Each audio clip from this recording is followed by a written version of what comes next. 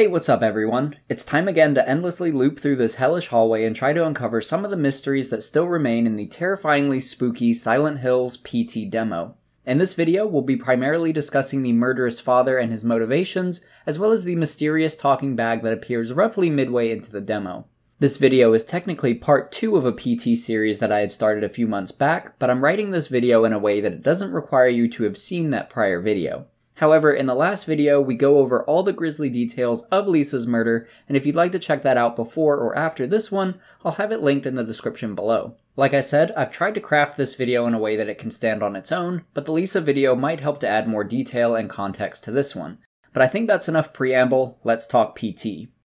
So let's start with the father. In the last video, we talked a lot about how he murdered Lisa, but we didn't really discuss why. My basic assumption is that the father was brainwashed by some kind of entity which manipulated him into killing his family, and there are a few clues that lead me to this conclusion. I think 204863 has something to do with his conditioning, since at the end of the demo, our last hallway ends with the screen glitch while the numbers 204863 are repeated like we're in a trance. 204863.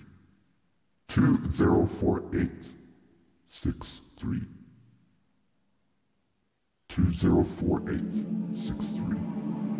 204863.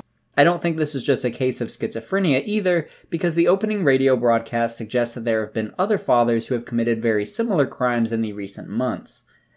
The day of the crime, the father went to the trunk of his car, retrieved the rifle, and shot his wife as she was cleaning up the kitchen after lunch. When his 10 year old son came to investigate the commotion, the father shot him too. His six year old daughter had the good sense to hide in the bathroom, but reports suggest he lured her out by telling her it was just a game. The girl was found shot once in the chest from point blank range.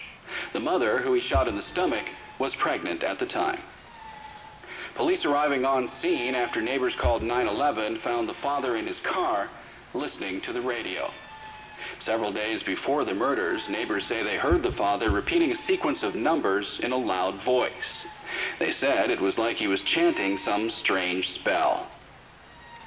There was another family shot to death in the same state last month, and in December last year, a man used a rifle and meat cleaver to murder his entire family. In each case, the perpetrators were fathers. For some additional context from the last video, I don't believe that the Lisa murder is described during the opening radio broadcast. Instead, I think it's a separate murder committed after those ones. As it relates to this video, I think Lisa's husband is different from the fathers described on the radio, since the radio father was found in his car by the police, but we can see his car keys on the table, which leads me to believe that the radio father and Lisa's husband are separate. Along with that, we later hear the radio broadcaster state that the father hung himself with a garden hose that he found in the garage, something I don't think Lisa's husband would be able to do if the police found him in his car listening to the radio. After killing his family, the father hung himself with a garden hose they had in the garage. Regarding Lisa's husband, I think that the garden hose suicide is how he dies, and that it occurs in the garage. If that's correct, then it could explain why we wake up in this cement room. To me, it kind of looks like a small garage. Especially as we exit the hallway, it looks like we're going into the garage, only to be sent back to the beginning of the hallway. The garage could be our character's transition point from the real world into Silent Hill slash Purgatory. Of course, that may not be the case, but it could explain why we start the demo here. Next, let's take a step back and continue talking about how the father may have been brainwashed. During the demo, we hear a different voice that gives us commands. This voice, which I'll be referring to as the sinister broadcaster, seems to speak directly to us through the radio, most notably during the section where Lisa can attack us. He's the one who says, Look behind you. I said, look behind you. We can clearly hear the difference between the sinister broadcaster and the regular broadcaster here. Don't touch that dial now. We're just getting started. Retrieved the rifle and shot his wife as he was cleaning up the kitchen. You can't trust the tap water. Old son came to investigate the commotion. The father shot him too. I think the sinister broadcaster is also the one who provokes us to murder Lisa, since we can hear his voice telling us that now's the time, do it, while we hear Lisa's murder take place.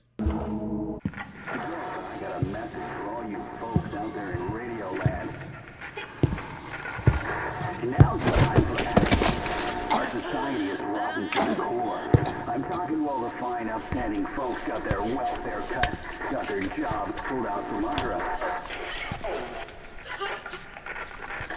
You know what to do. Now's the time. Do it.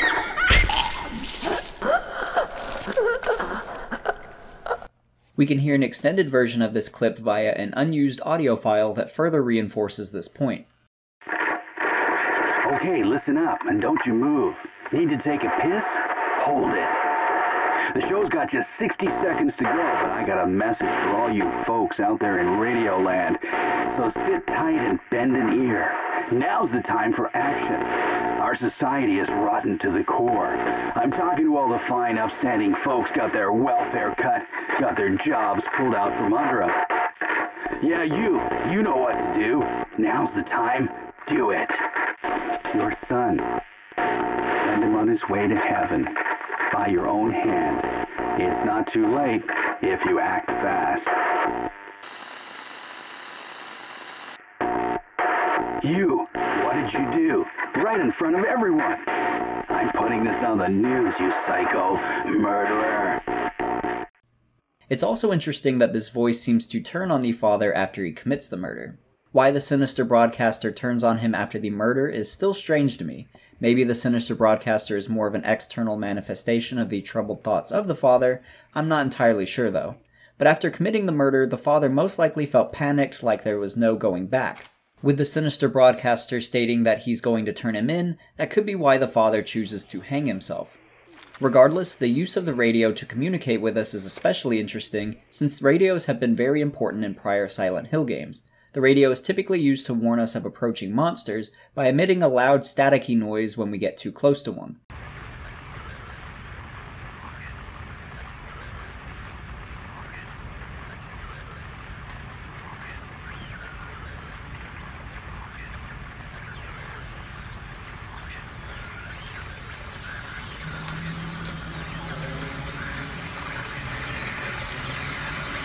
That could be why the sinister broadcaster is often accompanied by a static noise, unlike the regular broadcaster. Okay, listen up and don't you move. Need to take a piss? Hold it. The show's got just 60 seconds to go, but I got a message for all you folks out there in Radio Land. State police say this string of domestic homicides appears unrelated, though it could be part of a larger trend such as employment, child care, and other social issues facing the average family. So I believe the sinister broadcaster is the voice that guides this father and all other fathers into carrying out the murders.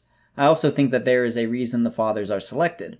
My guess is that fathers are selected based on how easily they can be manipulated. In the opening broadcast, the reporter states that the police suspect that the murders have to do with employment, childcare, and other social issues facing the average family. At first, this sounds like the police are just writing it off, but there could be some merit to their theory. The fetus later informs us that the father lost his job and became an alcoholic. You got fired, so you drowned your sorrows in booze. This is supported by all the alcoholic bottles and cans littered around the house. The fetus also mentions that this forced Lisa to get a part time job as a cashier, a job she was only able to get because the manager was attracted to her. She had to get a part time job working a grocery store cash register.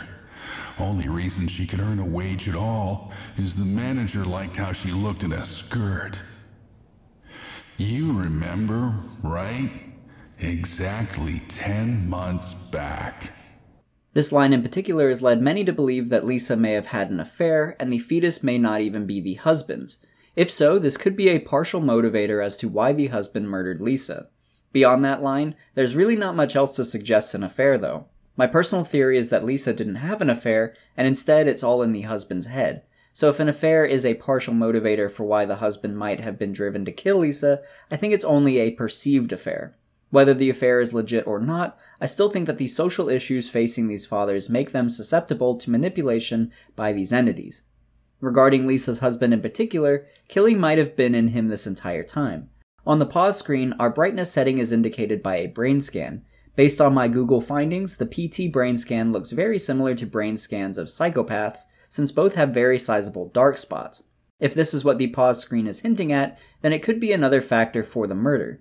Lisa's photo fragment is also hidden in this lower right area of the brain, and if this chart is accurate, then her photo would be residing in the temporal lobe, which is partially responsible for auditory information. The father seems to be experiencing a lot of auditory triggers, so this could line up. But I'm no neurologist and this could be reaching a bit, so I'll leave that theory here for now. Speaking of voices though, there is still another voice coming through the radio that we should discuss. During one loop in particular, we get a different voice speaking to us in Swedish.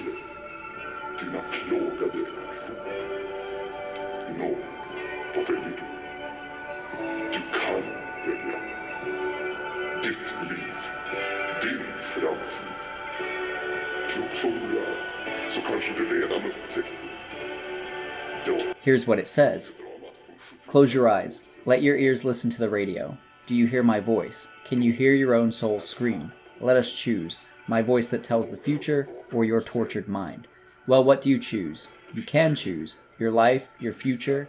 Wise as you are, you may have already discovered it.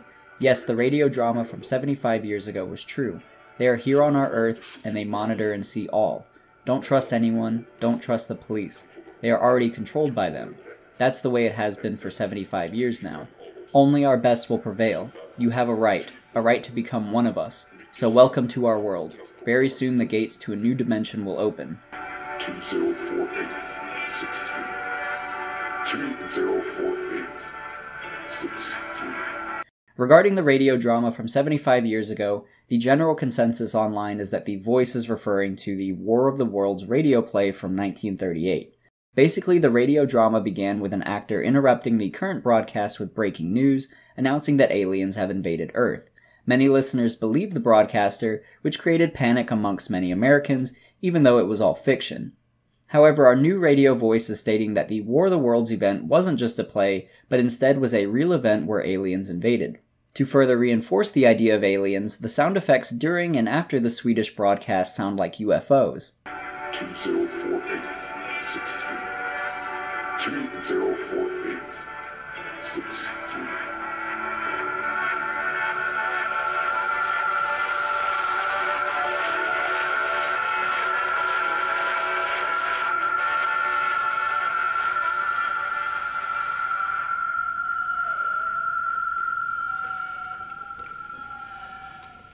Believe it or not, aliens are a thing in Silent Hill, but they are typically used as joke alternate endings. I think aliens being suggested here is more of a fun reference for the demo and not something that would necessarily have played out in the full game, but I guess we can't know for sure. It also sounds like this alien voice and the sinister broadcaster are working in tandem. The part about don't trust anyone, don't trust the police, seems consistent with don't trust the tap water. The sinister broadcaster also repeats 204863. He's also the one who tells us that we've been chosen. You've been chosen. Something the Swedish voice seems to be guiding us towards as well with the lines, You have a right to become one of us, so welcome to our world. Very soon the gates to a new dimension will open. The Swedish voice is heard again at the end of the demo when the screen starts to glitch because it seems to be the same voice repeating 204863. 204863. 2048 six three two zero four eight six three two zero four eight six three. I'm still not sure what 204863 means yet, but it seems to relate to that new dimension and might even be some kind of trigger phase. The way the baby is crying in the background while 204863 repeats could be symbolic of how the father could hear nothing but those numbers during the murder and drowned out all other sounds. 2048 63 2048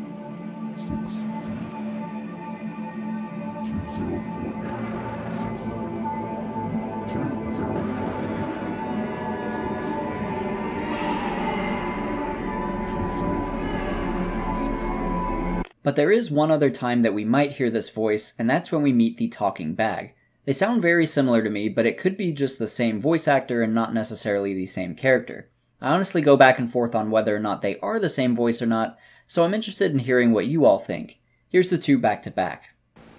204863. 204863. I saw me, walking in front of myself, But it wasn't really me. Watch out. The gap in the door. Since I can't say for sure, I don't want to commit one way or the other, but since we're on the topic of the talking bag, let's discuss what he represents. I walked. I could do nothing but walk. And then I saw me walking in front of myself. But it wasn't really me. Watch out. The gap in the door. It's a separate reality. The only me is me. Are you sure the only you is you? The common consensus is that whatever is in the bag is whatever Lisa rips out of us when she kills us. When we die, we can hear Lisa doing a couple things. We hear her undo our belt and zipper, and then we hear gross, fleshy noises like she's digging inside of us.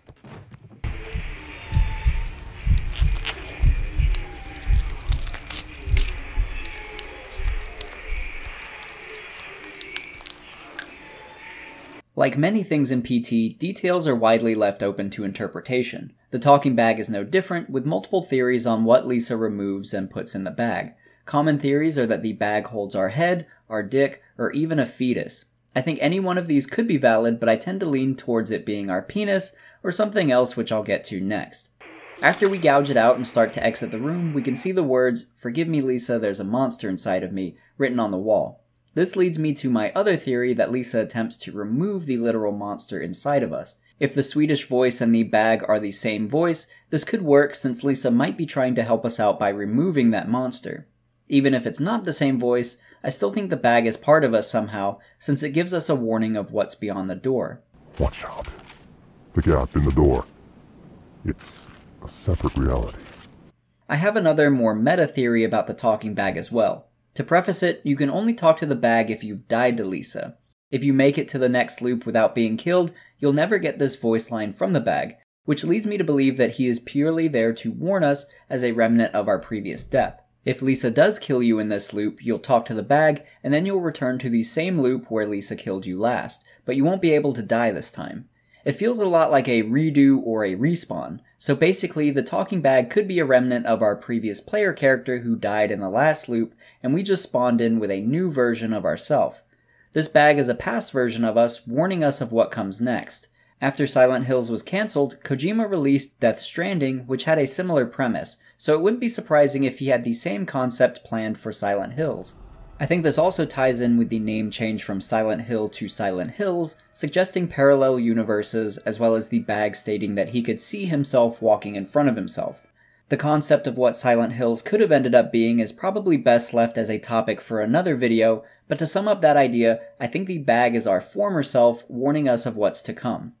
Judging by the ever expanding number of tally marks on the wall, I'd say we've been through this loop many times before. It could also be referencing other players going through the game as well. As far as what's in the bag and why Lisa placed it here, I would assume that it's probably our penis in the bag since that seems to be the area Lisa is removing something from, but the idea of our penis talking to us is a little too weird even for this video, so I'm leaning more towards some kind of physical embodiment of that monster inside of us. Regardless, Lisa might have the bag here as a way to torment us further because she seems to be getting a lot of enjoyment from watching us suffer. While we're on the subject of voices, there was another voice line that was really puzzling to me, and that was the normal radio voice that states that the father hung himself with a garden hose. If you listen carefully, as the radio broadcaster finishes his sentence, there's a background version of him saying that the father hung himself with an umbilical cord that he found in the garage.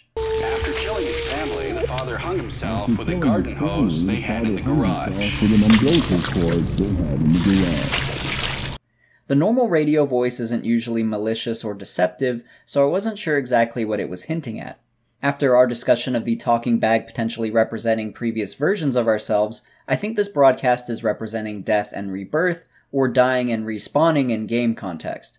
What I mean is that we have two broadcasts in parallel, one referring to death via garden hose, and the other mentioning an umbilical cord, which I think is symbolic of rebirth. We're both killed and reborn in the garage.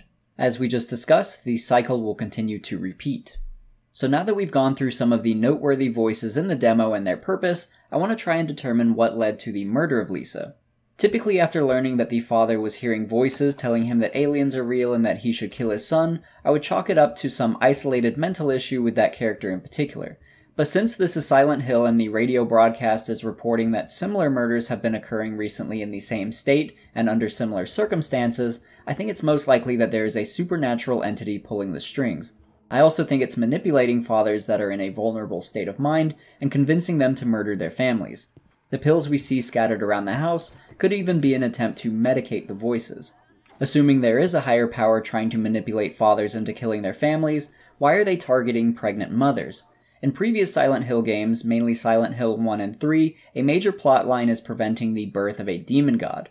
Without getting too far in the weeds on those storylines, a woman is meant to give birth to a god, but the reality is that the god is more of a demon, so preventing its birth is the main priority. A fetus was especially prominent in Silent Hill 3 when our main character Heather vomits up the god fetus to remove it from her body, at which point a devout follower swallows the fetus in an attempt to birth it herself, and it doesn't end well.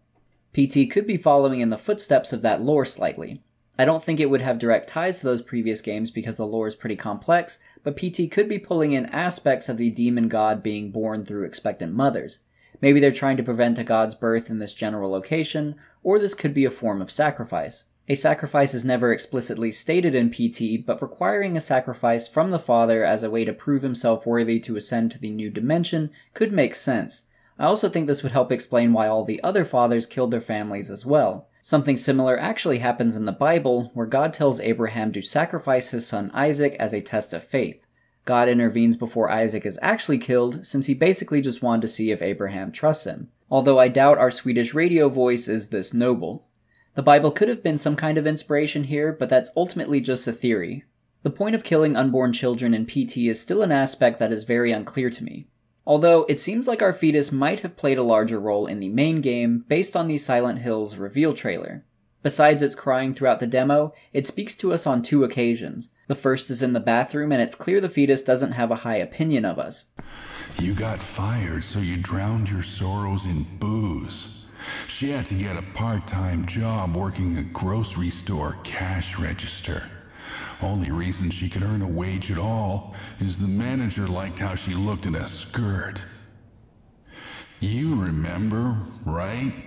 Exactly 10 months back. The second is used in the intro to the reveal trailer. Dad was such a drag. Every day he'd eat the same kind of food, dress the same, sit in front of the same kind of games. Yeah, he was just that kind of guy. But then one day he goes and kills us all. He couldn't even be original about the way he did it.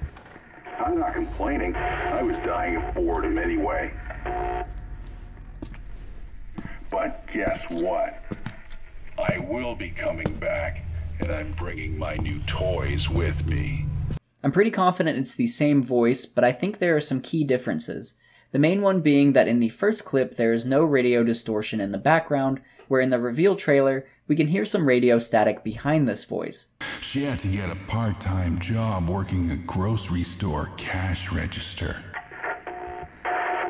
Dad was such a drag.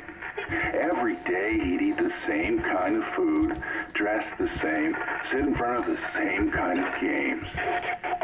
This could be signaling that the fetus will be an antagonist or that it has grown into something more malicious. If you'll allow me to speculate even harder, the PT demo could have even been an origin of sorts for the fetus, with him pulling these strings in the full game. But I think the fetus, Norman Reedus, and where the full game's plot would lead us will have to wait until part 3 of this series. Before I start to sum things up, I do want to talk a bit about the fetus in the fridge and potentially how Lisa and the baby were disposed of after the murder. We don't know exactly what happens to Lisa's body, but I theorized in the last video that she could be buried somewhere based on the roaches and the PT game cover, but I don't have much else to back that up. However, the demo seems to suggest that the fetus was put in a fridge for some reason. We can hear its muffled screams from within the fridge, but we never hear anything regarding Lisa in the fridge. Not to say she isn't in there too, I'm honestly not sure, although this handprint on the side could be hers. I originally assumed it was the father's, but after looking at it more, it seems to be upside down. If the father touched the side of the fridge naturally, you would expect the fingertips to be pointing towards the top of the fridge. The way the handprint is placed here kind of looks like whoever is inside was able to reach a hand through the door. The handprint also looks more adult sized, so this could potentially be Lisa's. But going back to the fridge, if we're meant to take this scene more literally, then I'm not sure why a fridge was chosen. Maybe the father was attempting to preserve the fetus in the freezer. I know that sounds crazy, but in some cases, murderers will place victims in a chest freezer until the body can be properly disposed of. In this case, the fetus could easily fit in the freezer. The bottom part could potentially hold Lisa as well. Along with this, the fridge could just be a method to discreetly transport their bodies without drawing too much attention. I'm also assuming it's not covered in blood at this point. I'm going to reach kind of hard here, but I think the father may have dumped the fridge in a river. I've always wondered why the fridge is suspended in air like this, and it kind of reminds me of when cranes pull cars up from the river, which could also explain the crazy amount of liquid dropping from the fridge, since hopefully this is more of a water and blood mixture, and not just entirely blood. The purpose of the ropes could have also been to keep the fridge from opening in the water. I know this is extremely speculative, but it's the best I've got so far. So at this point, I think I should try and sum up what I think is going on in PT as it relates to the father. My personal interpretation is that he was fired from his job, which caused him to become an alcoholic. To support the family and their unborn child, Lisa was forced to get a job as a cashier, but had a manager who was attracted to her. I don't think she ever had an affair, but the father may have been jealous and suspicious, causing more of a strife between them. With the father in a vulnerable mental state, he starts to hear voices in the radio and possibly attempts to medicate himself. He continues to hear the voices, two in particular. One that is warning him that aliens are real and are on this earth, while also promising the father that he will ascend to a new dimension if he chooses to follow, there is also the second voice of a sinister broadcaster who is more demanding and tells the father what to do, inevitably prompting him to murder his family. After which, the sinister broadcaster turns on him and threatens to tell everyone what he's done, at which point the father panics and attempts to hide the bodies. After the father hides the bodies and does whatever with the fridge, I think he goes to the garage and hangs himself with the garden hose. After he dies, he wakes up in the garage, which is where our demo begins. I also believe that this looping hallway is the father's own personal hell within Silent Hill. It might have even been manufactured by the fetus to remind the father of what he had done and also for Lisa to torment us. Throughout the demo, we continually go downstairs to enter the next loop, which could be symbolic of our continuous descent into hell. This dissension theme was especially prevalent in Silent Hill 2, where James would often go down long stretches of stairways or fall down holes to further reinforce his descension into Silent Hill, his own personal hell. A similar motif could be on display in PT. Midway through the demo, we have the opportunity to be killed by Lisa. If she kills us, she removes something from inside us as we die. We then wake up in the garage again, this time with a bloody talking bag on the table. I believe that the bag represents the previous version of ourself that just died, and it attempts to warn us of what's beyond the doorway. When we enter the hallway, we're essentially given a redo and put in the same loop that we just died in, although this time we won't die and instead gouge it out to remove Lisa's haunting in this loop. We also learn that there is a monster inside of us which can be taken metaphorically or literally based on your interpretation. In the same handwriting, we later discover the message, I can hear them calling to me from hell, a phrase Lisa finds very amusing.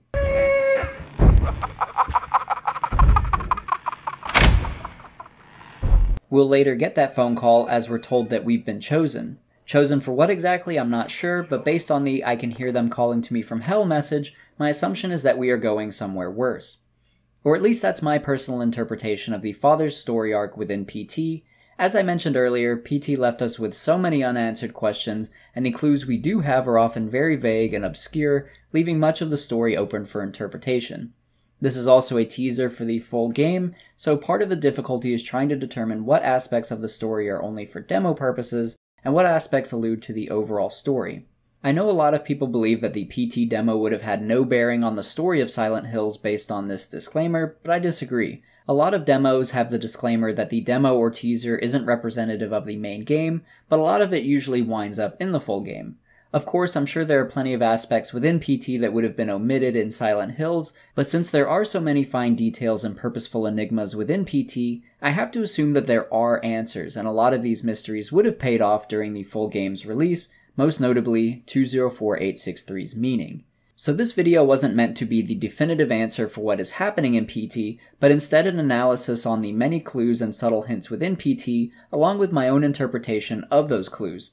Like I said in the last video, I'm interested in hearing your views on PT and how you perceive the story. PT was originally created with the intention that people from around the world would have to work together to solve it, so I appreciate any additional ideas or perspectives you may have, and I'll use them to better inform any future videos that I make regarding PT. I'd also be interested to know if you'd like more PT videos beyond this one, and any aspects in particular you would like to see discussed. I know there was a long gap between part 1 and this video, and I apologize for that, so if there is an interest in future PT videos, I'll gladly do more and try to release them quicker. PT is a tough nut to crack, but it is a ton of fun to analyze and discuss, so I would definitely look forward to covering it more. But in the meantime, thank you for watching, and I'll see you in the next video.